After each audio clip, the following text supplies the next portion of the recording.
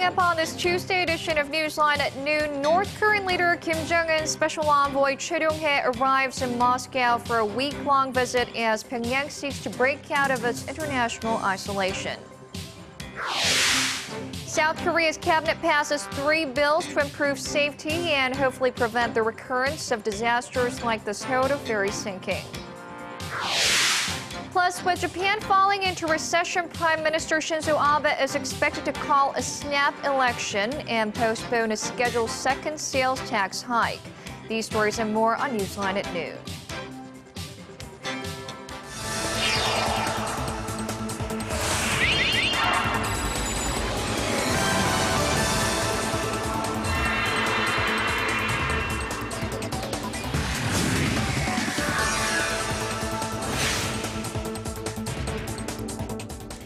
It's New Tuesday, November 18th here in Korea. Thanks for tuning in. Live from Seoul, I'm oh Eoh Jin-joo. It's very good to have you with us. I'm Mark Broome.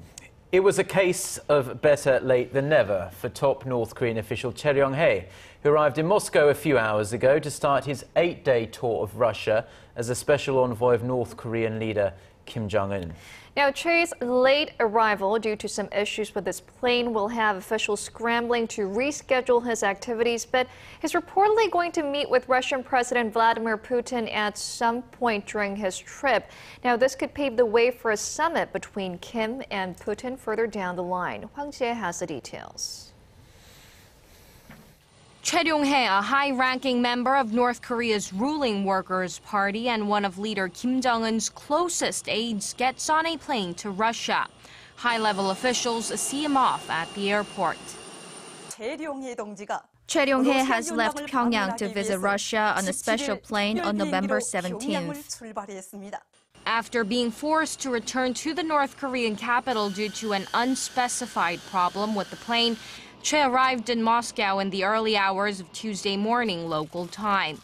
During his eight-day visit to Russia, there's speculation Choe might hold talks with Russian President Vladimir Putin and pass on a personal letter from Kim Jong-un. If that meeting materializes, eyes will turn to whether Choe's trip could lead to a bilateral summit between Kim and Putin.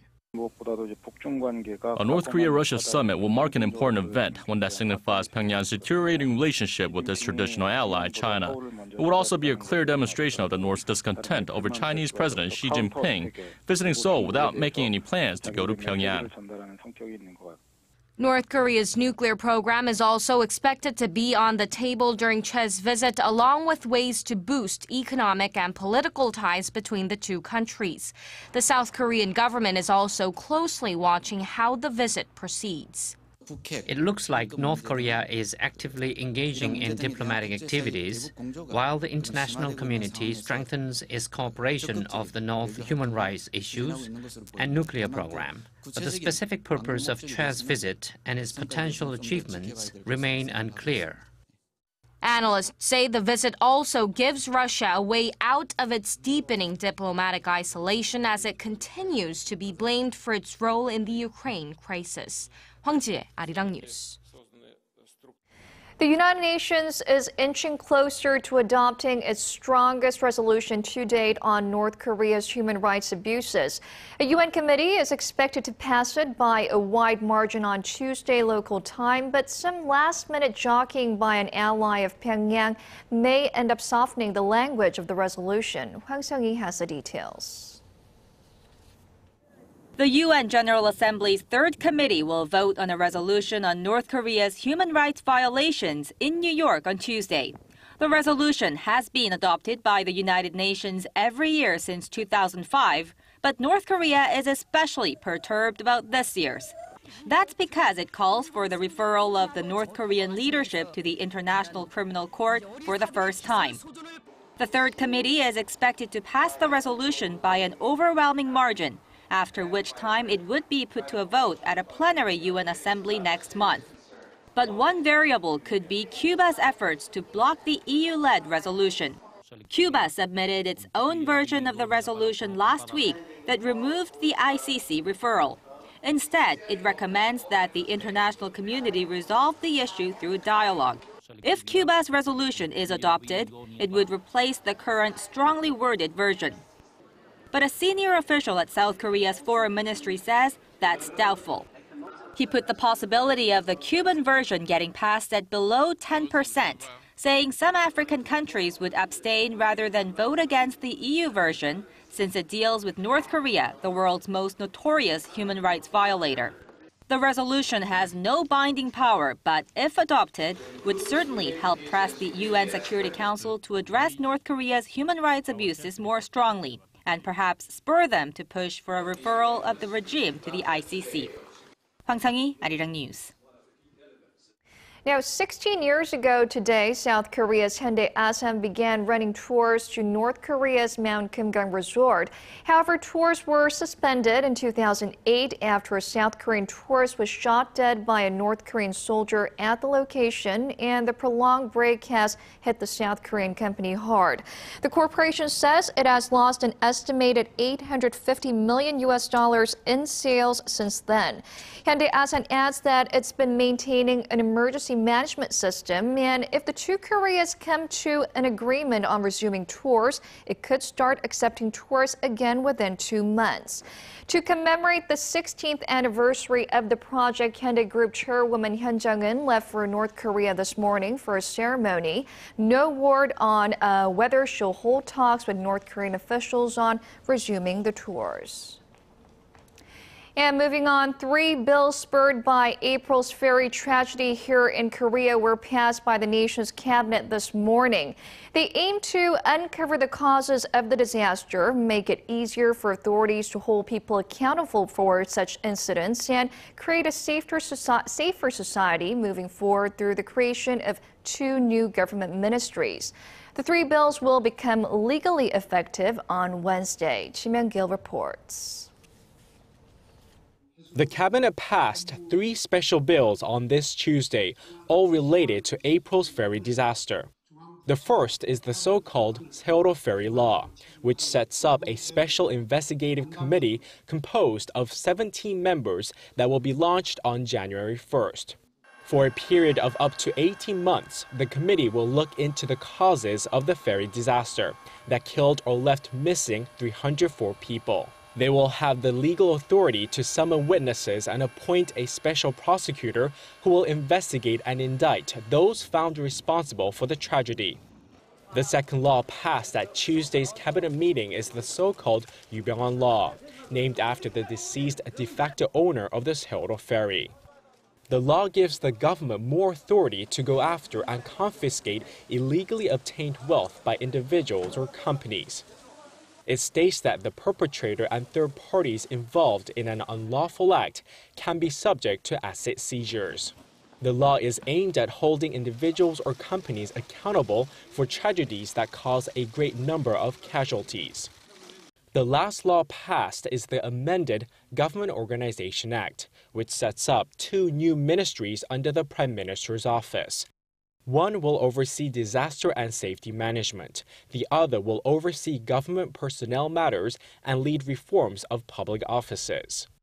The three special laws are aimed at making Korea a safer place to live and punishing those found responsible for lax safety management.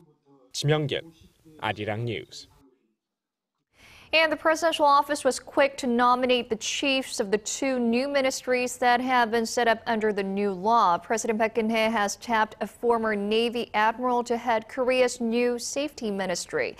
The presidential office says Park In-yong, former deputy chairman of the Joint Chiefs of Staff and former commander of the Republic of Korea Fleet, has been nominated as the country's first safety minister, citing his insights and capabilities to manage an organization. Meanwhile, Vice Security and Public Administration Minister Lee Sung-ho, also a former Army commander, has been appointed the new Vice Safety Minister. East leadership in a 2011 operation to save a Korean tanker and its crew that were seized by Somali pirates in the Gulf of Aden was noted. Also on Tuesday, the president named a personnel appointment expert from the private sector to head the new agency that will look after the government's personnel management. All 15 crewmen of the sunken Sewol-ho ferry, including the captain Lee Jun-sok, have appealed against their guilty verdicts for doing nothing to save the passengers in the deadly sinking. The Gwangju District Court said on Monday that the captain, E, submitted a request for an appeal with the court while some of the other crewmen finished their process late last week. E was sentenced to 36 years in prison and 14 crew members were given jail sentences ranging from 5 to 30 years. State prosecutors who had demanded the death penalty for the captain also filed an appeal last week calling the ruling regrettable. More than 300 people died or went missing when the ferry capsized in waters off Korea's southwestern coast on April 16th.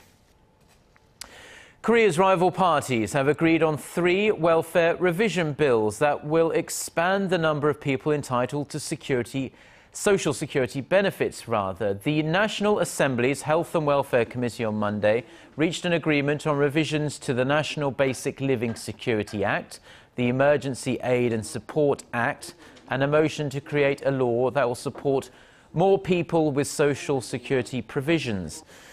The agreement came after the ruling Saenuri party accepted the main opposition party's proposal that the revisions will require an additional 230 million US dollars in government funding. The ruling party had been arguing before this point that additional funds should not exceed 180 million dollars. The committee will hold a vote on the agreement on Friday. Now, there's that well known saying that there's no such thing as a free lunch, but there is for the majority of school students here in Korea. New figures, in fact, show that government spending on the nation's free school meal program has jumped nearly fivefold since it was introduced back in 2010. Central and government uh, officials say the budget set aside for this year's meal program was over 2.3 billion US dollars, and the number of students getting free school meals has also jumped from roughly 1.4 million in 2010 to 4.5 million this year. That means some 70% of elementary to high school students in the nation have their meals provided for free at school.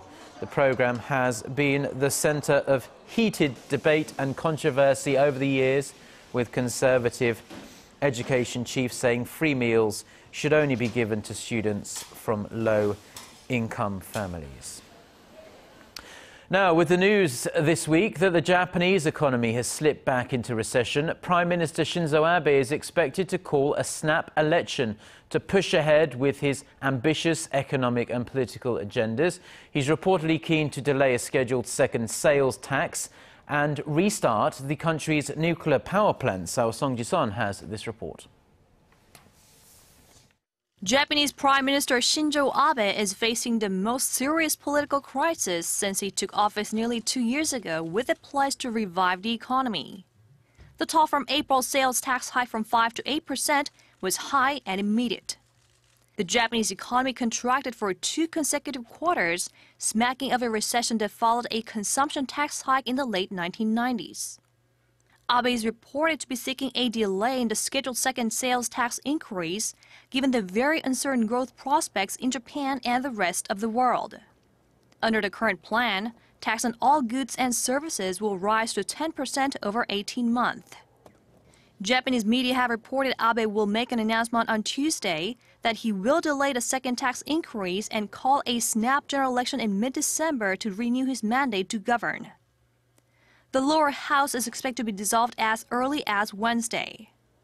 An election is not technically necessary to modify the tax plan, as Abe's Liberal Democratic Party is in firm control of both houses of the national legislature, but the Prime Minister is more likely seeking a fresh endorsement of his Abenomics platform and his other policies. Abe also aims to restart the nation's nuclear power plants, all of which have been offline since last year, and proceed with legislation to expand the role of Japan's military, following his decision to reinterpret Japan's pacifist constitution.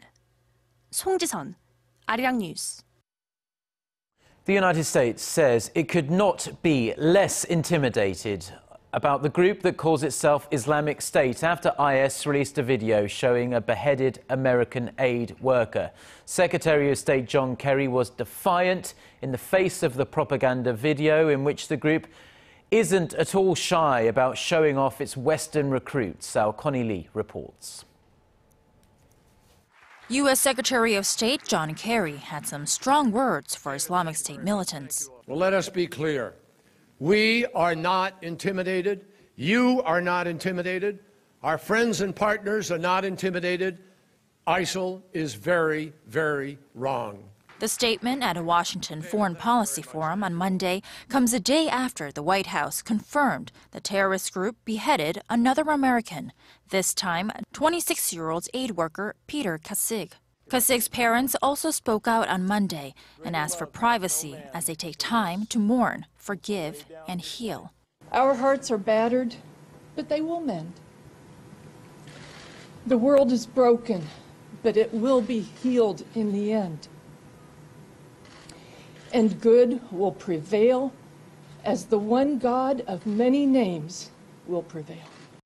Meanwhile, Western intelligence officials are now trying to identify the foreign jihadists seen in the latest propaganda video. The video, which also shows the beheading of 18 Syrian prisoners, differs from other videos previously released by IS. This one clearly shows the faces of the fighters and reveals how the group has attracted a good number of foreigners from around the world. It's believed that British and French nationals are among the militants seen killing the captured soldiers. British intelligence officials are looking into two British men, with one being 20-year-old Nasser Muthana, while French officials have identified one of the militants as 22-year-old Maxime Hauchard. According to a human rights monitoring group, IS militants have executed nearly 1,500 people in Syria over the last five months. Connie Lee, Arirang News.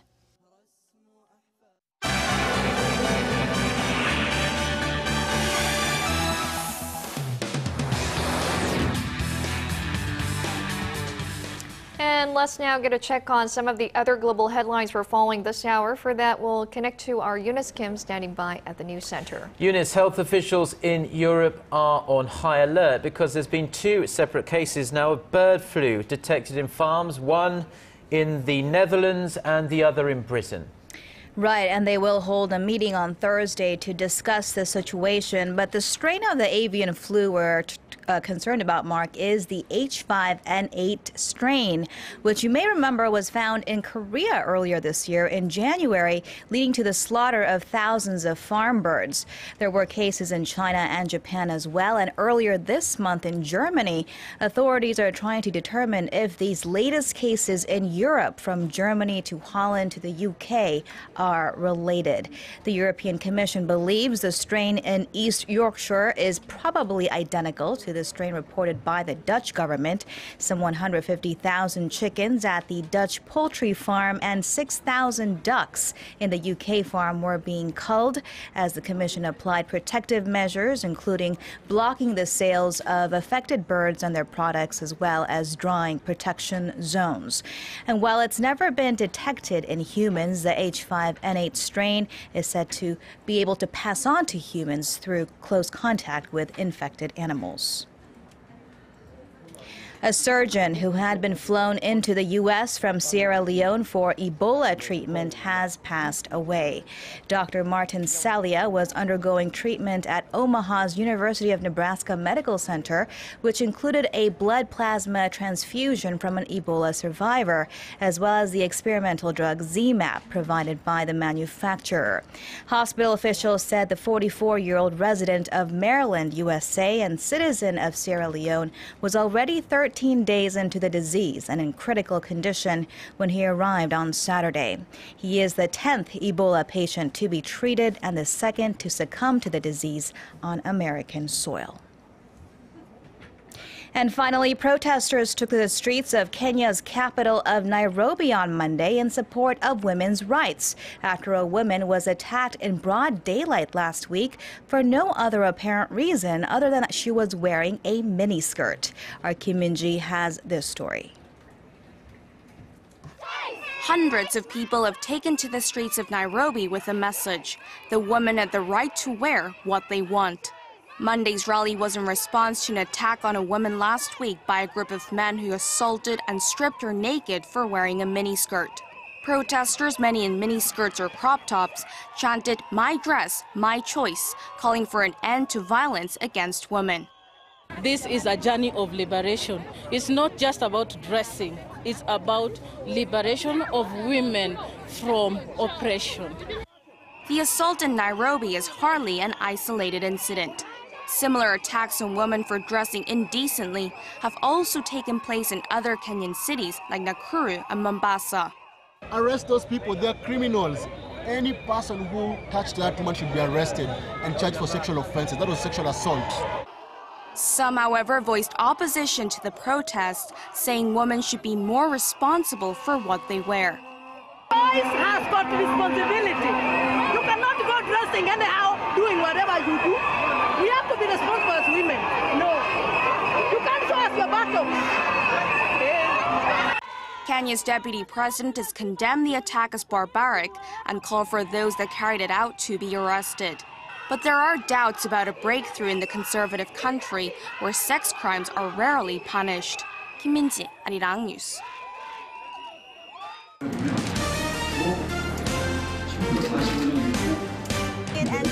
Stay up to date on the latest news out of Korea. Connecting to our team of reporters about the issues that matter to Korea. On air, on your mobile, online. Find out more about Korea on Newsline at noon with Mark Broome and Eoh Jin-joo. I'm Eoh Jin-joo. Market researcher, strategy analytics said Thursday that LG Electronics brought in about Fines imposed by foreign antitrust watchdogs on Korean companies for price fixing have surged in recent years. According to data released by Korea's Fair Trade Commission, local firms have been fined 1.5 billion US dollars since 2010 on charges of rigging prices and other cartel activities. The amount represents nearly half of the penalties that Korean companies have ordered to pay since 1996 when the commission started collecting related data. The penalties include a ruling by the European Union in 2012 when it ordered LG Electronics and Samsung SDI to pay $630 million and $190 million respectively for colluding to dominate the market of cathode ray tubes used in the manufacture of TV screens. The disappearance of Malaysia Airlines Flight 370 earlier this year is prompting aviation authorities to change the way they keep track of planes. A Wall Street Journal report says a security task force composed of experts from various groups, including the International Civil Aviation Organization, will announce a new set of global standards in early December. One measure mentioned would require airlines to automatically report the location of their planes every 15 minutes. In the case of a plane veering off a course as MH370 did, the regulations would allow authorities to track the aircraft at least once per minute. The report says the moves are intended to create the first universal real-time tracking system. Though there are non-binding recommendations, the task force hopes the measures are embraced around the globe by all carriers. Research labs and local businesses here in Korea have uncovered a new and unique source of revenue medicinal ingredients repurposed, repackaged for use in cosmetics. And the production period is relatively short, which is great and the applications are numerous. Paul Yi reports. This laboratory develops clinical medicines derived from organic materials. Scientists here trying to create functional materials that are good for the body using components extracted from medicinal herbs. Their ultimate goal is to develop new types of medicines, but 30% of the experimental substances they create end up being used as ingredients for new cosmetics. Not only does this keep the products from going to waste, but it's a boon for the lab. Compared to medicines and other health-related products, cosmetics can be made in a relatively short period of time and have several applications. Cosmetics bring greater rewards and have more growth potential than medicinal products as they take less time to develop. The lab developed a functional material that was distributed to 10 local mid-sized firms, which produced sales of 21 million US dollars last year alone. And sales are expected to grow 13% this year. Korean cosmetics and skincare products have been drawing attention worldwide for their high quality and power to improve the appearance, with a number of Korean cosmetic brands having entered the Chinese market. We want to promote the high quality and function of Korean cosmetics by allowing Chinese customers to experience and use products firsthand. These days, many local mid-sized companies are benefiting from the transformation of functional substances into cosmetics, allowing the companies to expand their business around Korea and beyond. Paul Yi, Arirang News.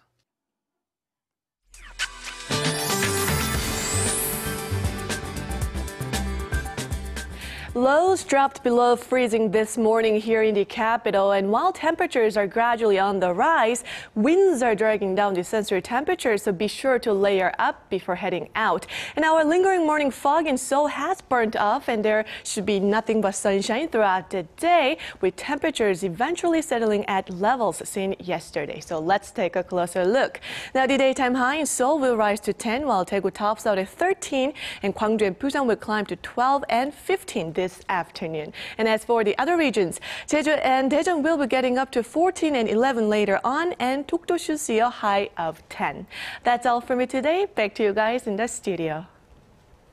Well, thank you, Chien, for the weather update. And that brings us to the end of our Tuesday edition of Newsline at noon. Yes, Jinju and I will be back at the same time tomorrow on Wednesday. Until then, goodbye.